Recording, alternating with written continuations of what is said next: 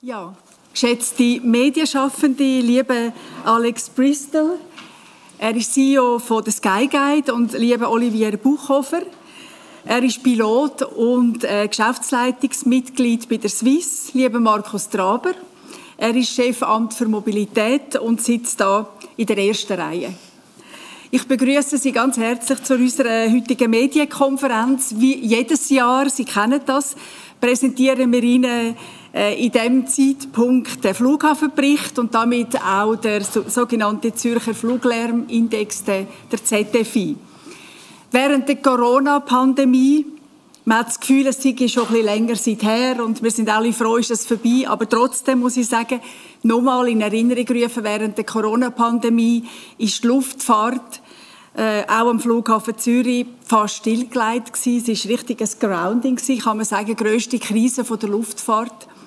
Und der Lärm und der ZFI ist natürlich in den Hintergrund gerückt. Der Richtwert vom ZFI ist darum auch schon zweimal pandemiebedingt deutlich unterschritten worden.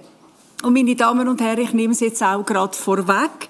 Auch im 2022 ist der Wert unterschritten worden, deutlich. Ich möchte kurz etwas sagen zum Ablauf der Medienkonferenz. Ich werde ein paar Ausführungen machen zu den Entwicklungen vom Verkehrsaufkommen, zum Fluglärmcontrolling, zum Strategiecontrolling und dann wird der CEO von Sky Guide, der Herr Bristol, quasi einen Blick in den Tower von der Sky Guide werfen und Ihnen auch aufzeigen, wie komplex das Pistensystem am Flughafen Zürich heute ist mit den verschiedenen Betriebskonzepten. Und dann dürfen wir auch noch einen vertiefteren Blick werfen in das Cockpit am Flughafen Zürich vom Swiss-Pilot und Geschäftsleitungsmitglied von Herrn Oliver Buchhofer. Und zum Schluss, selbstverständlich, haben Sie dann die Möglichkeit, auch noch Fragen zu stellen. Also, steigen wir ein in die Entwicklung vom Verkehrsaufkommen am Flughafen. Zur Erinnerung. 2019 sind 31,5 Millionen Passagiere über den Flughafen Zürich gereist. Und dann ist eben der Einbruch gekommen, die Pandemie ist gekommen, auf 8,3 Millionen Passagiere im Jahr 2020 und 10,2 Millionen Passagiere im 2021. Und im letzten Jahr hat ja Corona-Pandemie zum Glück dann ein Ende gefunden. Per 1. April 2022 ist ja die besondere Lage und damit auch die letzten Maßnahmen vom Bund sind aufgehoben worden. In den ersten drei Monaten von 2022, das muss man einfach wissen, sind wir noch in der Pandemie gewesen. Also in dem Berichtsjahr 2022 haben wir auch noch Pandemie gehabt. Und das zeigt sich natürlich auch an den Verkehrszahlen. Die Anzahl Passagiere sind dann nach der Pandemie aber, und das ist jetzt wichtig, in den ersten Monaten schon sehr, sehr schnell von 15.000 Reisenden pro Tag auf Spitzentag mit rund 90.000 Reisende angestiegen. Und ich möchte einfach, dass Sie das bedenken die unglaublich schnelle Anstiege und von der Reisetätigkeit, wo man auch mit Herausforderungen verbunden war und wo wir auch später noch werden reden, in der kürzesten Zeit von 15.000 Passagieren auf 90.000 Passagiere. Aber was heißt das? Das heißt, dass die Reiselust, meine Damen und Herren, die Reiselust, die ist schlagartig. Das kann man sagen, vielleicht auch ein bisschen unerwartet weil man es so schnell nicht erwartet hat. Aber sie ist schlagartig wieder zurückgekehrt. Und das hat natürlich die ganze Luftfahrtindustrie vor große Herausforderungen gestellt. Man kann sagen, von der grössten Krise der Schweizer Luftfahrt ist eine extrem rasche, grosse Nachfrage gestiegen. Und das ist ein riesiger Kraftakt das möchte ich wirklich sagen, wo man hat müssen bewältigen. Ich glaube, das ist selbstredend, wenn man die Zahlen sieht. Bodenabfertigung und Fluggesellschaften haben mit grossen Personalengpässen gekämpft. Das hat zu verlängerten Wartezeiten, Gepäckstaus und auch bis und mit Streichungen von Flugzeugen geführt. Vor allem im Sommer 2022 wo ja dann die Schweizerinnen und Schweizer sehr gern in die Sommerferien verreist sind. Ich möchte auch noch ein Wort zur Fracht sagen. Am Flughafen Zürich spielen Passagierflugzeuge eine deutlich größere Rolle als reine Frachtflugzeuge. So haben wir insgesamt 1115 Frachtflugzeuge im Jahr 2022, von denen nur ein Bruchteil gehabt, wo die Flugbewegungen ausgemacht haben. Aber ich möchte auch sagen an dieser Stelle, die allermeisten Passagierflugzeuge, die führen auch Luftfracht in ihren Frachträumen. Das ist wirklich so. Und in Zahlen gesagt sind das wirklich 99,4 Prozent von allen Linien und allen Charterflugzeugen am Flughafen Zürich. 2022 sind sogenannte gemischte Transporte. Das heißt, ich fasse zusammen. Mit insgesamt 216.600 Flugbewegungen ist der, der, der im Flughafengesetz vorgeschriebene Wert im Jahr 2022 um mehr als 100.000 Bewegungen deutlich, meine Damen und Herren, deutlich unterschritten gewesen. Unterschritten ist darum auch der ZFI-Richtwert. Der Monitoringwert liegt mit 43.400 Personen um rund 3.600 Personen unter dem Richtwert 2022. Und Sie sehen das an dieser Grafik. Die Zahl der Personen, die am Tag stark belästigt sind, beläuft sich auf 26.593 und die Zahl von Personen, die in der Nacht im Schlaf stark gestört sind, beträgt 16.855. Und das heißt dann auch, dass Personen, die in der Nacht im Schlaf stark gestört sind, um rund 20 Prozent über dem Referenzzustand sind, was man in der Grafik da auch gut sieht, abbildet. Und Gründe für wieder mehr Lärm als während der Pandemie, ich glaube, das ist auch klar, oder? Das ist natürlich die starke Erholung auch wieder vom Flugverkehr und der Aufnahme der Reisetätigkeit. Weil es ist klar, wenn mehr geflogen wird, dann gibt es auch tendenziell mehr Lärm. Und der andere Grund dafür ist das internationale Flugnetz. Und das muss man sagen, das ist nach der Pandemie nicht so stabil, kann man sagen, fast immer noch nicht so, wie man es wettet, wie das vor der Pandemie war. Wir haben international bedingte Verspätungen, die auf dem Tag, also während dem ganzen Tag, nicht mehr haben nachher können rechtzeitig wieder aufgeholt werden. Und die Gründe für die Verspätungen, auch international im 2022, sind dann vielfältig. Und ich will es nur mal an dieser Stelle sagen. Wir haben am Anfang Pandemie gehabt. Die Pandemie ist aufgehoben worden. Und wir haben innerhalb kürzester Zeit von 15.000 zu 90.000 Passagieren am Flughafen gehabt. Dazu haben wir auch, zu diesem rasanten Anstieg, haben wir auch Streiks gehabt, sehr viel Streik im internationalen Flugverkehr, Wetterphänomen, Personalmangel am Boden und natürlich auch in der Luft. Und nicht zuletzt, und das möchte ich an dieser Stelle auch sagen, nicht zuletzt ist auch das komplexe Pistensystem an unserem Zürcher Flughafen hat einen Einfluss auf Verspätungen. Ich komme auch dazu noch zu sprechen. Also zusammenfassend kann man sagen, dass der Monitoringwert vom ZFI auch 2022 unter dem Richtwert ist geblieben. Die Fluggesellschaften ersetzen ihre älteren Flugzeuge durch wirtschaftlichere und damit lärmarmere, man kann auch sagen CO2-neutralere Flugzeuge und das ist erfreulich, das möchte ich an dieser Stelle auch sagen. Und das hat eine zunehmend positive Wirkung auch zusammen mit den passiven Schallschutzmaßnahmen, die wir ja ständig machen. Jetzt noch einige Zahlen. Zwischen dem 11 Uhr am Abend und dem 6 Uhr am Morgen sind rund 2300 Flüge durchgeführt worden. In der Zeit zwischen 11 und halb 12, wo der sogenannte bewilligungsfreie Verspätungsabbau Vorgesehen ist, sind im Betriebsjahr 2142 Flugzeuge gezählt worden. Nach halb zwölf sind insgesamt 204 Einzelbewilligungen für Flüge erteilt worden. Das sind Linienflüge oder das sind Charterflüge, wo hauptsächlich wegen technischen Problemen oder widrigen Wetterverhältnissen bewilligt worden sind. Weiter sind es Ambulanzflugzeuge also auch medizinische Notfälle und weiter sind es Vermessungsflugzeuge. Mein Amt für Mobilität hat das alles angeschaut, wie wir das immer machen. Wir schauen jeden, äh, jeden, jeden Fall genau anschauen und wir haben am Batzel vier von diesen Flügen als mögliche, muss ich sagen, mögliche Verstöße gegen die Nachtflugordnung gemeldet. Weil die Zuständigkeit ist beim Batzel, wo das prüfen. Wir haben das aber gemeldet. Die Abweichungen von der A- und der Abflugroute sind im Fall nicht zu verwechseln mit möglichen Verstößen gegen die Nachtflugordnung. 2022 haben wir insgesamt 4600 Abweichungen von der Anflugsroute und der Abflugsroute gehabt. Und wenn Sie finden, das ist eine große Zahl, ich will ich das einfach relativieren, das sind 2% von der Gesamtflugbewegungen. Und ich möchte an dieser Stelle betonen, dass die Zahl auf dem gleichen Niveau ist wie vor der Pandemie. Also es gibt keinen Zusammenhang mit der Pandemie, dass man da irgendwie etwas sich verändert hat.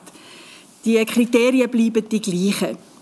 Und es hat bei denen keine nennenswerte Auffälligkeiten gehabt, die mein Amt festgestellt hat. Wir haben Stellungnahmen einverlangt, wie das immer so ist, zu allen, und die haben können zufriedenstellend beantwortet worden. Zum Beispiel, das sind Fälle wie Geschwindigkeitsbegrenzungen nicht genau eingehalten worden ist. Wir haben darum keine Meldungen als Batzel müssen machen. Meine Damen und Herren, jetzt kann ich Flughöhe höher. Innovation und technischer Fortschritt, das sind ganz klar die Schlüssel für die Dekarbonisierung, auch in der Luftfahrt. Und seit mehreren Jahren herrscht ja in der Luftfahrtbranche eine grosse Dynamik, auch bei der Forschung und Entwicklung von neuen nachhaltigen Technologien. Und ich freue mich, dass ich das da wirklich darf sagen, dass unser Home Carrier Swiss will die weltweit erste Fluggesellschaft sein, die mit CO2-neutralen synthetischen Treibstoff fliegt. Und darum ist das Unternehmen Swiss auch bei Intelion beteiligt, wo ja Treibstoff herstellt. Und darum hat Swiss auch eine Partnerschaft mit Intelium ist sie eingegangen. Und auch bei den Flugzeugen, da tut sich einiges. Und das sehen Sie da auf der Grafik. Der Anteil der Flugzeuge mit Triebwerk von der neuesten Generation hat sich seit 2018 verdreifacht. Also das ist ein Rechtsmengengerüst möchte ich an dieser Stelle ausdrücklich sagen, wenn man von einer Verdreifachung redet. Und ja, weil 2022 wieder viel mehr geflogen worden ist als 2021, hat es auch noch mal einen leichten Anstieg bei den Flugzeugen von den älteren Generationen. Aber ich möchte es ausdrücklich sagen, die Tendenz und die Richtung geht klar nach unten. Und die Tendenz von den neueren Flugzeugen geht klar nach oben. Und das ist wichtig, meine Damen und Herren, das ist wichtig. Weil die Flottenerneuerung ist kurz- und mittelfristig der wichtigste Hebel für weniger CO2 und weniger Lärm, auch für das Einhalten vom ZFI. Und zum Abschluss von meinem ersten Teil möchte ich noch ein paar Worte, wie auch üblich, zum Controlling der Eigentümerstrategie verlieren. Der Regierungsrat hat für insgesamt vier Bereiche strategische Ziele bzw. Erwartungen vom Kanton Zürich an die Flughafen Zürich AG formuliert. Erstens hat er gesagt, als strategisches Ziel zur volkswirtschaftlichen und verkehrswirtschaftlichen Bedeutung vom Flughafen, dass das selbstverständlich muss erhalten werden. Zweitens hat er auch strategische Ziele im Umweltbereich formuliert.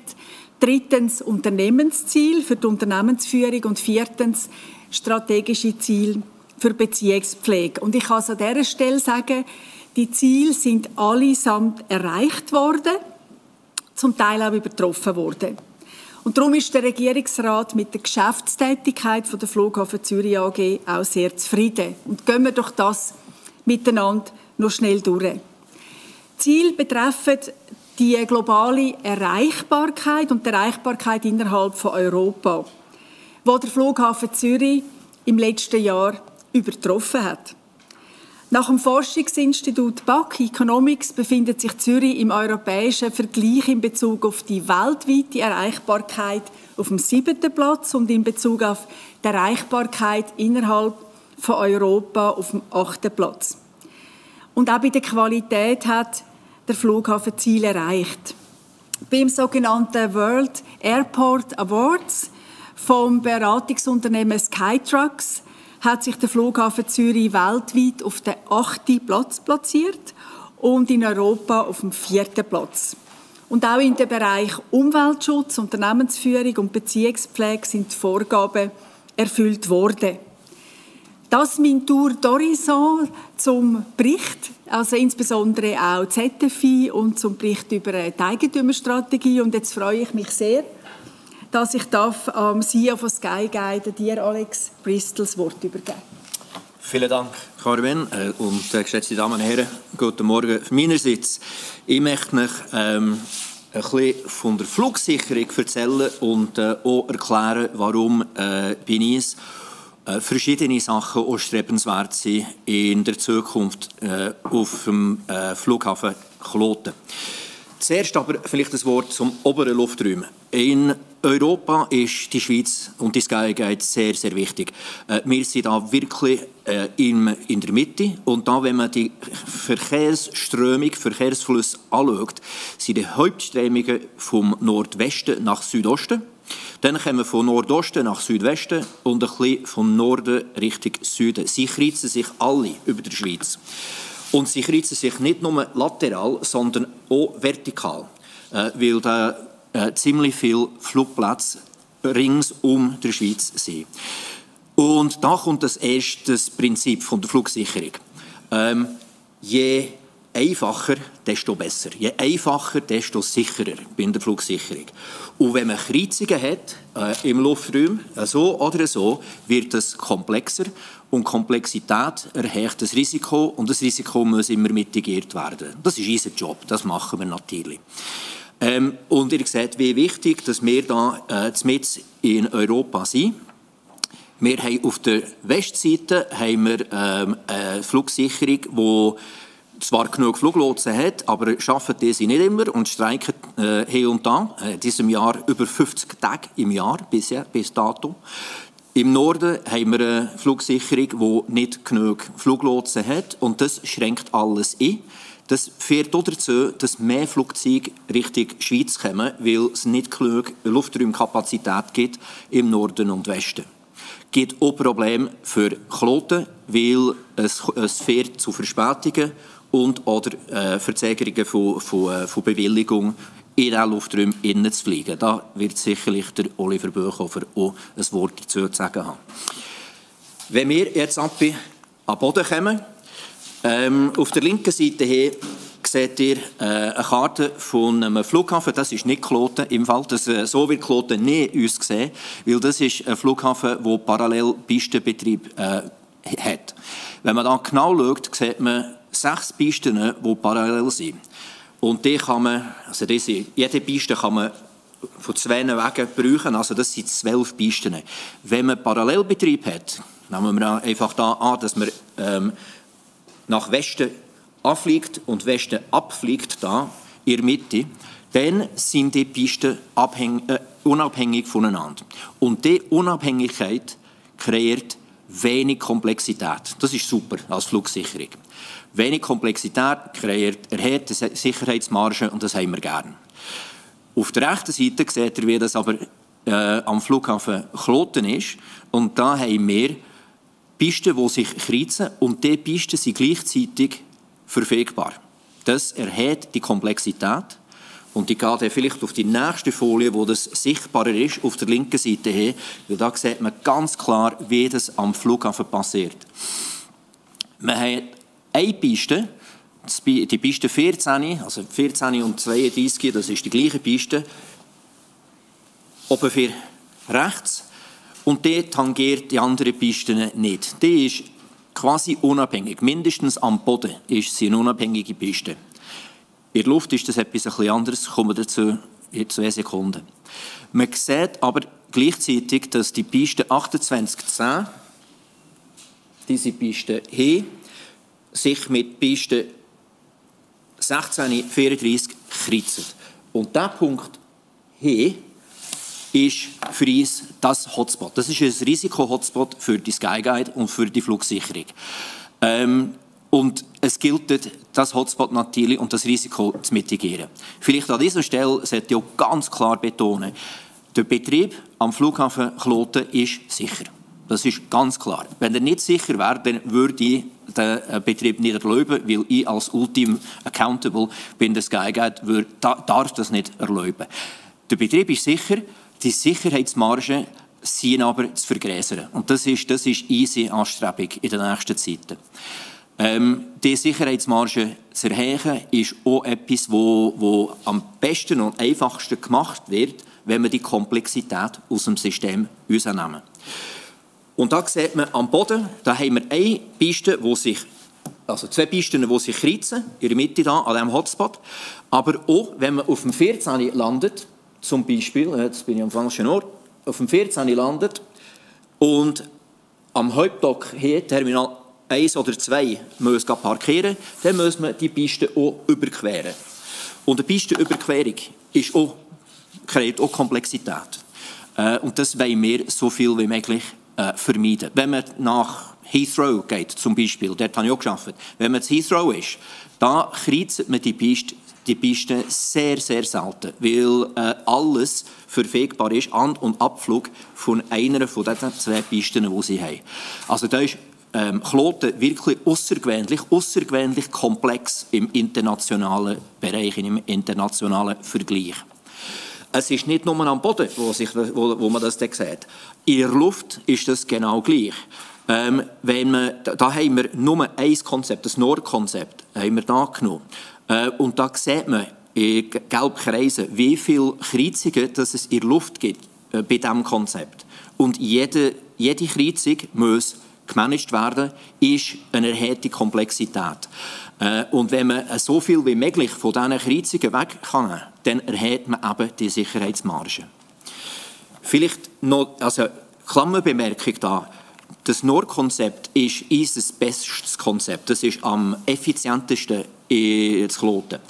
Ähm, und in den letzten paar Jahren, wegen der Wetterbedingungen, haben wir das NOR-Konzept nicht so viel können brauchen, wie wir in den Vorjahren äh, können machen Und das hat auch dazu geführt, dass es am Tag die wenig, weniger effizienten äh, Konzepte da, äh, zum Tag kommen.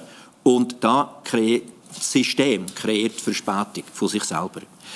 Wenn ich, wenn ich konkret Beispiel jetzt äh, geben könnte, ähm, wir nehmen die Piste 28 da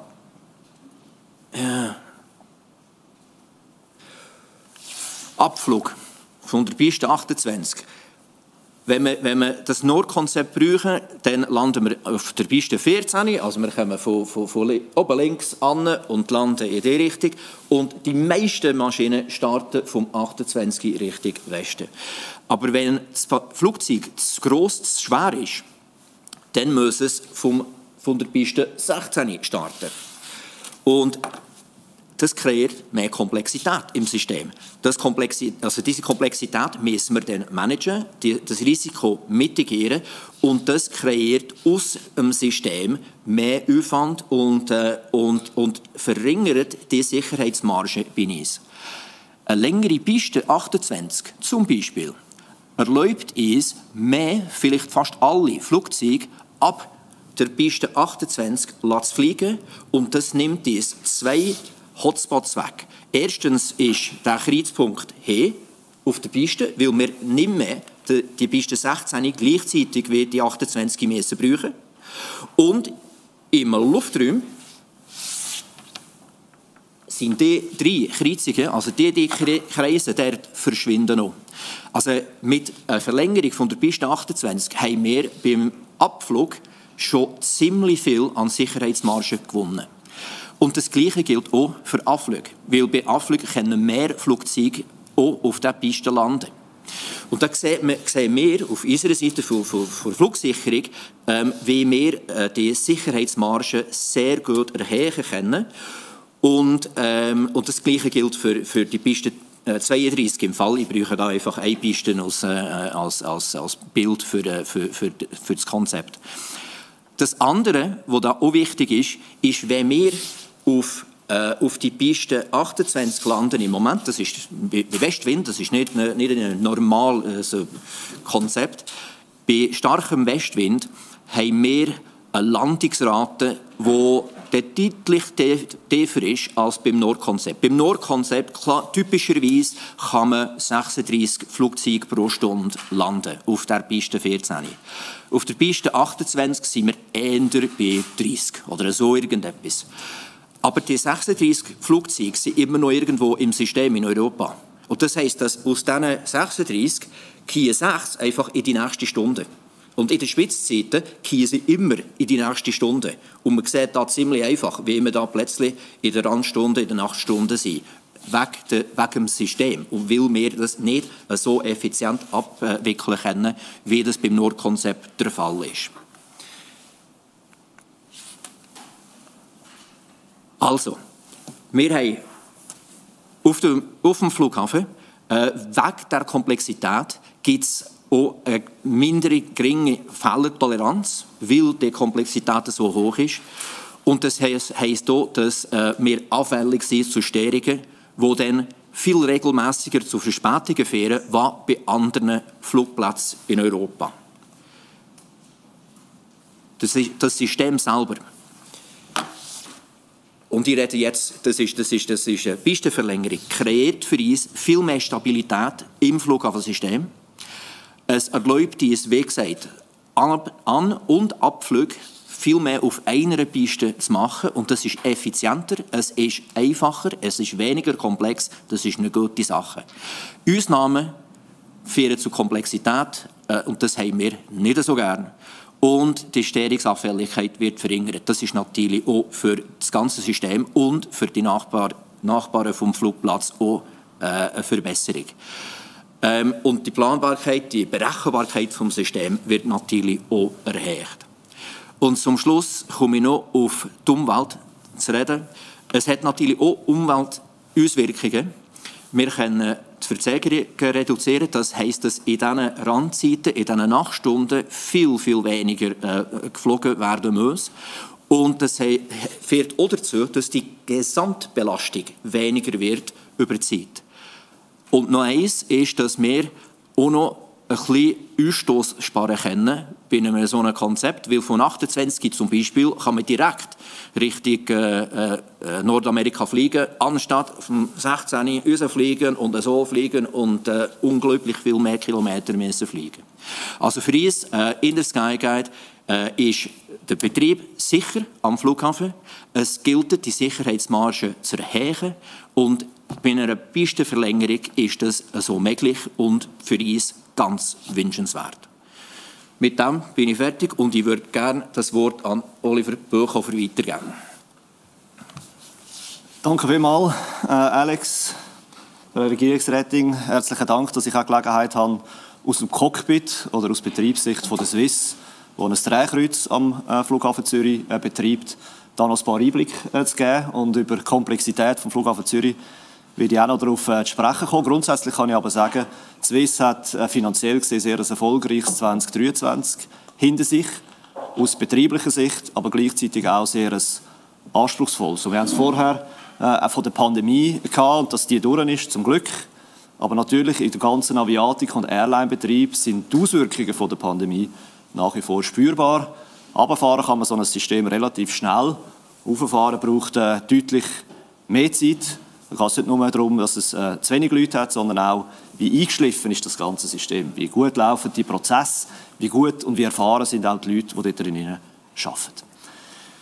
Ja, wo hat sich die Swiss ähm, das Jahr und insbesondere im Sommer drinnen bewegt? Ähm, wir haben natürlich auf, auf Makroebene ein paar ganz grosse Einflussfaktoren, zum Beispiel die geopolitische Lage ähm, mit dem Konflikt, wo wir im Nahen Osten sehen, mit dem Ukraine-Konflikt. Das hat einerseits Auswirkungen auf unsere Strecken, dass wir gewisse Destinationen nicht anfliegen können. Aber beispielsweise hat auch der Konflikt in der Ukraine zur Folge, dass der ganze Verkehr, der dort darüber abgewickelt worden ist, sich nach Westen verlagert und wiederum der, äh, der, der weitere Verkehr nochmal weiter nach Westen, was dann zu der Situation führt, die Alex Bristol vorher auch äh, geäußert hat. Natürlich ist, haben wir auch äh, Kostenthemen mit Infl Inflation, mit dem Fuelpreis, das ist etwa ein Drittel von unseren Kosten, ist äh, Treibstoff und Wettersituation. Und die ist eben sehr relevant, äh, auch am Flughafen Zürich. Wir haben etwa dreimal mehr Beisentage gehabt. Das ist ein bisschen Ostwind Also es ist nicht Schnee, Sturm und, und Gewitter, sondern ein bisschen Ostwind. Das hat aber massive Auswirkungen auf, äh, wie der Flughafen Zürich betrieben werden kann. Wir haben ein paar un unmittelbare ähm, Einflussfaktoren gehabt. Natürlich Personalthemen, Luftraumkapazität, auf das komme ich nachher noch.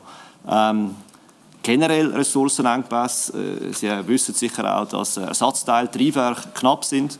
Und wir haben, auch das ist vorher angesprochen worden, deutlich mehr Streiksituationen erlebt. Wir haben etwa zwei bis dreimal mehr Flüge müssen annullieren wegen Streiks im Umland. Wir fliegen etwa mit 90 äh, Prozent der Kapazität von dem, was wir im 2019, äh, also vor der Krise, ähm, hatten. Das ist gegenüber dem 2022, wo wir vorher geredet haben, nochmal etwa 20 bis 25 Prozent Punkte mehr. Und vor diesem Hintergrund und vor dieser extremen ähm, anspruchsvollen Situation sind wir stolz darauf, dass wir 99% Stabilität erreicht haben. Das heißt, wir haben 99% von unserem Flugprogramm können durchführen ähm, Zu der Pünktlichkeit sage ich nachher noch gerade etwas, aber das heißt, es ist einer von etwa 100 Flügen, die wir haben müssen streichen. Das ist sehr, sehr ein gutes äh, ähm, Ergebnis und auch im europäischen Vergleich sind wir da als Airline Spitzenreiter. Das ist auch ein Fokus natürlich von uns von diesem Jahr. Wo wir weniger zufrieden sind, ist mit der Pünktlichkeit. Die ist äh, nicht dort, wo wir sie wollen, aus verschiedenen Gründen nicht. Einerseits natürlich gegenüber unseren Kunden, äh, die dann nicht zur rechten Zeit an ihrer Destination ankommen, die ihren Anschluss äh, verpassen oder Umständen, die ihr Gepäck nicht bekommen. Es verursacht aber auch sehr, sehr einen starken Druck aufs Personal, äh, auf die Leute, die im Tagesbetrieb involviert sind weil man ist dann sehr reaktiv unterwegs, man muss sehr kurzfristig disponieren. Äh, es verschiebt sich immer mehr auch Richtung Betriebsende und das gibt einen sehr, sehr starken Druck. Und natürlich, wir wollen unser äh, Flugprogramm pünktlich durchführen und nicht unnötig zu späten Zeiten beispielsweise fliegen. Die Gründe für äh, die schlechte Pünktlichkeit sind vor allem exogener Natur. Das sind Luftraumkapazitäten, die eingeschränkt sind, zum Beispiel wegen Wettersituationen, zum Beispiel wegen fehlendem Personal bei der Flugsicherung, nicht in der Schweiz, muss man klar auch sagen, sondern im europäischen Umland, durch Streiks. Das führt dazu, dass, ähm, dass wir sogenannte Slots, das sind vorgegebene Abflugfenster, zugewiesen bekommen im Flugbetrieb. Also dass wir nicht dann können fliegen können, wenn das Flugzeug eigentlich parat ist und auch gemäß Flugplan sollte fliegen, sondern dass wir dann eben müssen, müssen warten müssen. Der Teil macht ähm, bei jeder ja, etwa 40 Prozent von unseren Flügen im Durchschnitt, zum Teil sind es bis zu 80 Prozent am Tag. Im Sommer haben wir so eine Regulation, wie wir das nennen, ähm, gehabt. Zwei Drittel ist Umland, also europäisch äh, bedingt. Etwa ein Drittel hat aber etwas damit zu tun, wie der äh, Flughafen Zürich äh, betrieben wird und welche Betriebskonzepte äh, am Flughafen Zürich äh, eingesetzt werden. Selbstverständlich muss die Pünktlichkeit besser werden. Wir haben auch schon für das Jahr sehr, sehr viel ähm, äh, gemacht und investiert. Wir werden das auch für nächstes Jahr einmal machen. Das ist nicht nur ein Swiss-Anliegen und ein Swiss-Auftrag, sondern das machen wir zusammen mit unseren Systempartnern. Kurzfristig, äh, um Ihnen da ein paar Beispiele zu geben, optimieren wir, wie viele Ersatzflugzeuge, wie viel Ersatzpersonal wir einsetzen, aber auch äh, unsere Flugzeiten, wann fliegen wir von wo nach wo, wie viel Zeit hat man zum von, von A nach B fliegen. Da werden wir jetzt noch mal einiges investieren, auch in technische Systeme, welche Flüge können wir priorisieren, wie steuern wir das Ganze? Und das klingt vielleicht ein bisschen exotisch, aber spezifische Vorhersagen vom Wetter, wie das macht nachher etwas, welche Betriebskonzepte das wir in Zürich haben, das ist ganz, ganz ein wichtiger Teil. Langfristig, und das ist wichtig ähm, äh, auch zum Wissen, langfristig können wir die ganzen Themen aber nur lösen, indem wir auch Assysteme angehen, indem wir da und abfliegen. Haben wir, glaube ich, vorher eindrücklich gehört, wie das in Zürich läuft. Und das ist einzigartig als Pilot, der weltweit unterwegs ist, so wie in Zürich. Erlebe ich schon nie wie geflogen wird. Ähm, das ist einzigartig, da braucht es eine Entflechtung und auch die ganze flugbetriebliche Infrastruktur, an der müssen wir arbeiten. Da gehören Pistenverlängerungen unter anderem dazu.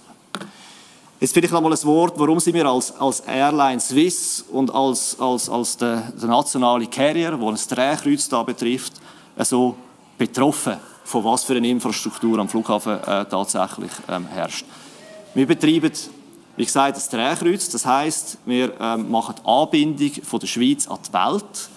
Ähm, wir fliegen 21 interkontinentale Destinationen an, täglich, und leisten damit einen wichtigen Beitrag äh, für die Volkswirtschaft, Tourismus, Fracht, ähm, äh, Wirtschaft äh, generell.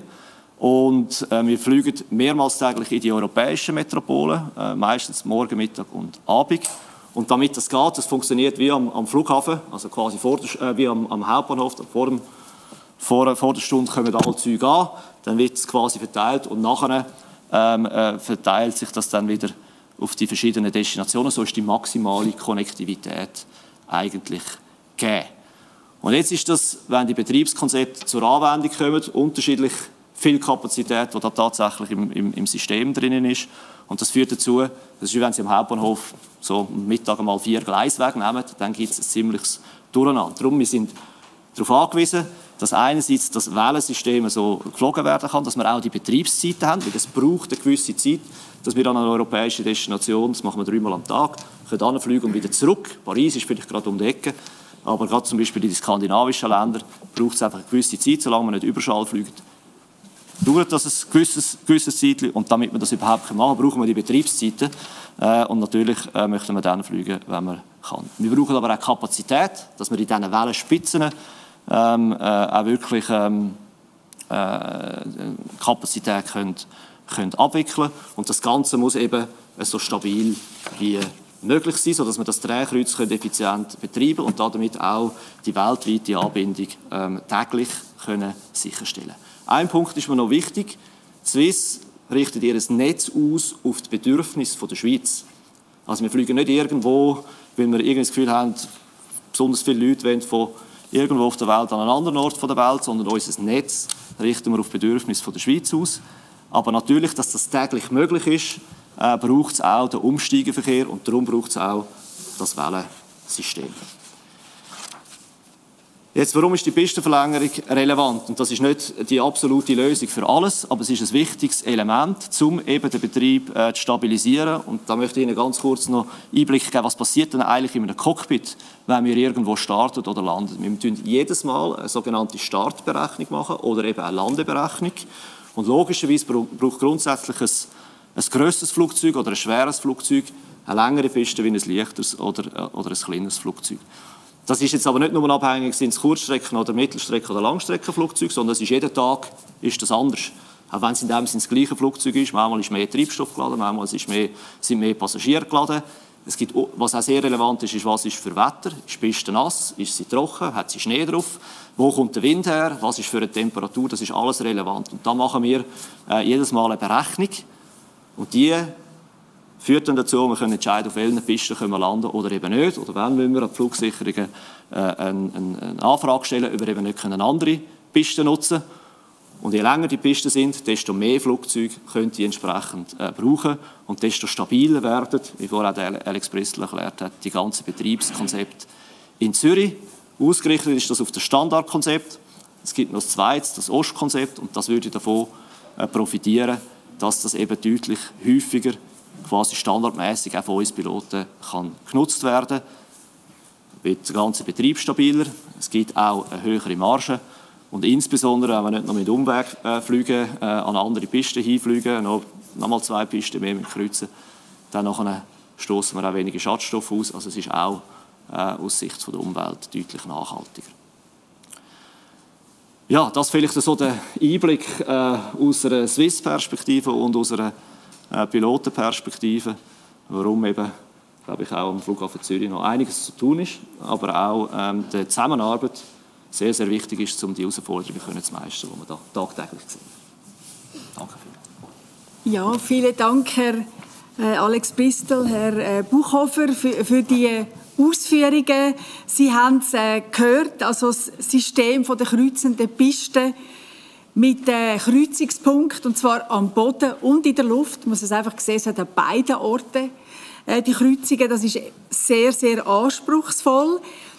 Als Resultat, ich möchte noch mal ver verinnerlichen, von einer Sicherheitsüberprüfung 2011 aufgrund von einem Vorfall hat das Bundesamt für Zivilluftfahrt gefordert, dass die Sicherheitsmargen am Flughafen Zürich müssen erhöht werden und zwar unter anderem, es ist nicht die einzige Maßnahme, muss ich sagen, da gibt es noch ganz viel, aber unter anderem durch Verlängerung von der Pisten 28 und 32. Weil, das muss ich schon sagen, bei so einem anspruchsvollen Flughafen, wie wir in Zürich-Loten haben, bei so einem anspruchsvollen Flughafen ist Sicherheit, glaube ich, das höchste Gut. Das sind wir auch allen, ich glaube wirklich allen geschuldet. Und auch der Zürcher Regierungsrat. Er will auch in Zukunft einen attraktiven Flughafen, er will einen zuverlässigen Flughafen, er will einen stabilen Flughafen und er will vor allem auch einen sicheren Flughafen. Und darum sind aus der Sicht der Zürcher Regierung die Verlängerungen der beiden Pisten wichtig, weil sie eben zu einem maßgeblichen Sicherheitsgewinn führen. Zur verbesserten betrieblichen Stabilität, wir haben das gehört, zu mehr Pünktlichkeit und damit natürlich auch zu mehr Nachtruhe. Weil Pistenverlängerungen wirken sich vor allem am Tag aus oder? und sollen ja dann die Nachtruhe verbessern. Es gibt Berechnungen von der EMPA, die zeigen, dass über den ganzen Kanton betrachtet die Fluglärmbelastung durch Pistenverlängerungen sogar leicht zurückgeht.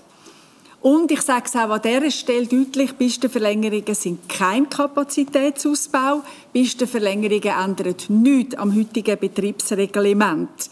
Und darum wird mit den Pistenverlängerungen auch nicht mehr geflogen. Auch das will ich noch mal sagen. Sie wissen, gegen die Vorlage ist das Behördenreferendum und das Volksreferendum ergriffen worden und Zürcherinnen und Zürcher dürfen am 3. März über die Pistenverlängerungen abstimmen. Und damit wären wir am Schluss von unseren Ausführungen. Ich hoffe, für Sie sind es interessante Ausführungen gewesen und wir stehen Ihnen selbstverständlich jetzt sehr gerne noch für Fragen zur Verfügung. Ja, Frau Minor. Ja, guten Morgen miteinander. Ähm, ich habe schnell eine Frage zum äh, ZFI. Der ist ja jetzt rasant angestiegen. Ähm, es sind nur noch 3600 Personen unter dem Grenzwert. Ob das jetzt knapp oder deutlich unterschritten ist, über das, das können wir diskutieren. Ähm, aber die Frage ist, wie sehen Sie die Entwicklung? Also wird ZFI das Jahr schon überschritten? Wird ZFI das nächste Jahr überschritten? Und was, ja, wie schätzen Sie das ein? Also ich kann Ihnen natürlich nicht endgültig sagen, weil das Jahr wir ja dann erst in der Aufarbeitung sind, äh, 2023, dass im 2023 mehr geflogen worden ist, haben glaube alle gemerkt. Das wird zu Veränderungen führen und das werden wir auch entsprechend nachweisen. Ich möchte aber zurückwerfen, was Sie gesagt haben, nur noch knapp unter dem Index. Wir sind deutlich, mit 100'000 äh, Bewegungen sind wir deutlich unter dem Fluglärmindex im 2022. Einfach damit wir bei den, bei den Fakten bleiben, weil wir im 2022 natürlich auch noch die Pandemie hatten. Ich will das, auch, will das auch sagen, was der Grund ist. Es ist sicher auch die Pandemie. Also von dort her gesehen, insgesamt wird der ZFI, das haben wir in unserem Bericht, wo wir das Postulat hatten zum ZFI und mit angewiesen haben, insgesamt wird der ZFI sinken.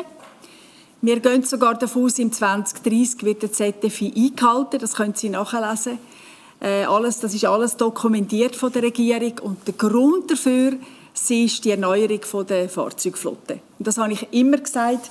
Der grösste Hebel bei dem grossen Bevölkerungswachstum, das wir im Fall am Flughafen haben, alle leben ja äh, an dem Flughafen, ziehen auch in die Flughafenregion. Das muss ich sagen. Wir sind als Kanton Zürich attraktiv. Und trotzdem schaffen wir äh, die Trendwende beim ZFI wegen der Flottenerneuerung, weil die Erneuerung der Flugzeuge, die ja Swiss vorantreibt, wird zu deutlich leiseren Flugzeugen führen, was man übrigens auch schon feststellt ähm, in den letzten Jahren. Und wenn die Swiss an dieser Flottenerneuerung festhalten, was sie macht, Definitiv. ich habe noch nie etwas anderes gehört und das freut mich auch, wenn sie an dieser Flottenerneuerung festhalten und wirklich die Bestellungen und die, die Flugzeuge auch kommen, dann werden wir etwa 2030 den ZFI eingehalten haben. Danke. Haben Sie weitere Fragen, bitte? Ja, Fuchs vom Schweizer Fernsehen. Ich habe eine Frage an Herrn ja. Buchhofer zu der Pünktlichkeit. Können Sie noch ein bisschen konkreter werden, wie schlecht äh, so steht um die Pünktlichkeit? Also jetzt im ganzen 23, vielleicht kann man schon eine Bilanz ziehen. Ja, also Pünktlichkeit ist ja so plus minus um die 60 Prozent. Wenn man von Pünktlichkeit redet, dann redet man von 15 Minuten Abflugspünktlichkeit. Da geistern immer unterschiedliche Kennzahlen herum. Ähm, äh, und, und, und das zeigt natürlich, wie ein Gesamtsystem funktioniert oder nicht funktioniert. Und äh, die Zielsetzung, die wir uns grundsätzlich haben, liegt bei 70 oder 80 Prozent Pünktlichkeit. Also wir sind ein deutlich Stück ähm, unter dem, was wir wollen, wollen erreichen wollen. Es sind vor allem exogene Faktoren, die dafür verantwortlich sind. Nicht nur, das will ich an dieser Stelle auch gesagt haben. Da hat es auch Themen ähm, selber drin, namentlich ähm, Abfertigungskapazitäten, aber auch gewisse IT-Dispositionssysteme am Flughafen, die dazu geführt haben, Sicherheitskontrolle, Grenzkontrollen, all die Themen, die wir in diesem Sommer auch gesehen haben. Also es sind verschiedene Faktoren, die darin fließen. Wir sehen es natürlich klar als unseren Auftrag gegenüber unseren Kunden aber natürlich auch gegenüber der Bevölkerung im Kanton Zürich, dass wir pünktlicher werden. Da gibt es gewisse Massnahmen, die wir machen können. Das werden wir auch zusammen mit den Partnern. Aber man muss auch am System arbeiten. Das ist ganz wichtig. Ist das etwas Neues oder ist das auch schon mal vorher in den letzten fünf Jahren? Ja, grundsätzlich kann, also es schwankt natürlich über den Tag. Äh, an Tagen wie jetzt über das Wochenende, wenn es Schnee hat, dann reden wir von 15 oder 20% Pünktlichkeit. Das sind aber natürlich dann wirklich ganz spezielle ähm, ähm, äh, Bedingungen. Ich glaube, im Quervergleich auch mit anderen europäischen ähm, Airlines ist es nicht einmal so, also relativ gesehen nicht einmal so schlecht, in Anführungs- und Schlusszeichen. Die Frage ist aber, was wir als Premium Carrier und als Swiss uns zum Ziel setzen. Und da ist klar das Ziel, deutlich besser zu werden über die nächsten Jahre. Das haben nicht nur wir selber in der Hand, darum brauchen wir ähm, alle, die da, die da mitarbeiten. Aber wir wollen besser werden. Das ist nicht das Ziel, dass wir über die nächsten Jahre mit 6% Pünktlichkeit unterwegs sind. Das kann der Herr Buchhofer vielleicht nicht sagen, aber das sage ich jetzt, weil international gesprochen macht sie einen guten Job. Auch wenn, auch wenn man selbstverständlich muss besser werden und Pünktlichkeit gerade für uns Schweizerinnen und Schweizer ja unglaublich wichtig ist, oder? Mir übrigens auch als ÖV-Ministerin, das ist ein hohes Gut. Nichtsdestotrotz möchte ich einfach wirklich an dieser Stelle darauf hinweisen, die Luftfahrt international ist noch nicht dort, wo sie vor der Pandemie war. Wir leiden immer noch äh, unter der Abfahrung vom System und wieder vom System auffahren. Wir haben das erklärt und an dem können wir, wenn wir in der Schweiz arbeiten, das schaffen alle Partner, aber können, sind wir nicht allein als Land. Das sind wir auch angewiesen, äh, dass wir international stabilere Situationen überkommen. Vielleicht noch eine kleine Ergänzung. Wir haben das Jahr vor allem auch den Fokus auf die Stabilität, also dass der Flugplan durchgeführt wird, auch geleitet. Das ist ganz wichtig, das wissen wir auch von unseren Kunden. Für sie ist wichtig, dass der Flug stattfindet. Natürlich auch pünktlich. Darum für nächstes Jahr wenn wir gleich stabil sein und auch pünktlicher. Äh, aber nicht sagen, ja, wir sind dann pünktlich und dafür streichen wir mehr Flüge. Das kann nicht, das kann nicht der Weg sein, wie wir da wollen, äh, in Zukunft gehen. Dort ist der Fokus gelegen, auch für dieses Jahr, für, für unsere Kunden. Ja, bitte. Ähm, zum ZFI auch. Ähm, sind ja 96,8 Prozent der stark belästigten Personen im Kanton Zürich. Wo sind die anderen? Oh, also schon ein bisschen, also abhängig von den entsprechenden äh, Flugkonzept, oder? Sind sie dann sehr unterschiedlich. Aber das gebe ich gerne am Fachmann. Markus, darf ich dir ja, das also, Wort geben? Ähm, ja.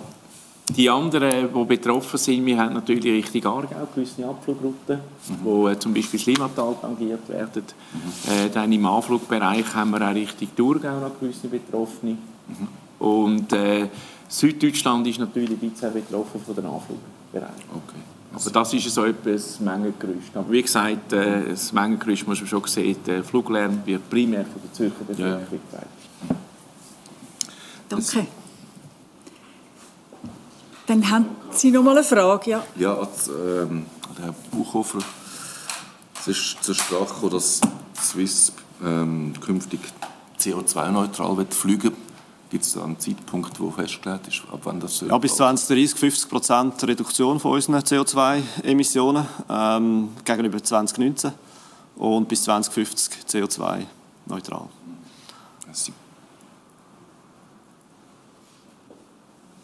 Entschuldigung, dass ich Sie nicht gesehen habe hinter der Säule. Ja, bitte. Äh, Weimann von CR Media. Ich habe eine Frage bezüglich der Qualität des Flughafens. Dort sind Ziele ähm, achten und dritten Rang für den Flughafen. Er ist achter und vierter geworden. Ich verstehe die Schlussfolgerung nicht ganz. Sie sagen, Ziel erreicht. Aber wenn ich voll gewesen wäre, meine Lehrer hätten manchmal auch so aufgehoben. Das ist, eine, das ist eine rein rechnerische Betrachtung, aber da gebe ich auch das Wort ähm, gerne weiter. Ja, äh, Zielvorgabe ist oder, also achte oder dritte und nicht und. Also es ist nicht kumulativ, sondern es muss eines von diesen zwei Zielen erfüllt sein. Swiss findet auch Flughafenziel erreicht. Von den Qualitätszielen? Ja, wir arbeiten gut mit dem Flughafen zusammen. sind stolz auf unseren Hub. Das ist so. Ist das für Sie gut? Haben Sie keine Fragen mehr? Gut, dann frage ich nochmal in die Runde und ich hoffe, ich sehe, ich sehe alle. In dem Fall scheinen keine Fragen mehr herum zu sein. Dann freuen wir uns, dass wir alles haben können beantworten und Ihnen einen spannenden Bericht geben. Vielen Dank für Ihr Interesse, für die Teilnahme an der Medienkonferenz da und auch äh, online. Und dann wird die Medienkonferenz geschlossen. Merci.